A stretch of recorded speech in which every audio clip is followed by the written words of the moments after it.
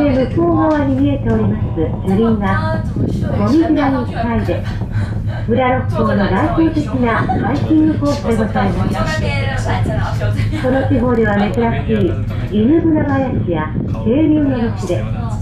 その名の通り秋の紅葉は見事なものでございますまた六甲山はその優雅な佇まいと静けさそして山上から見下ろすダイナミックな眺めなどによって広く内外のお客様に親しまれてまいりました。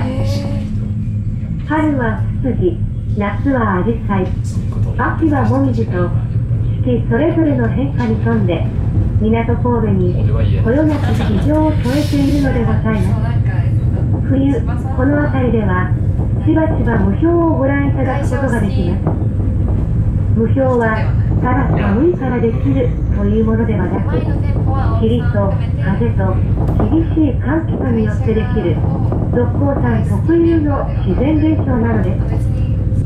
無表が冬の日差しに光り輝く様は誠に見事という他はありません。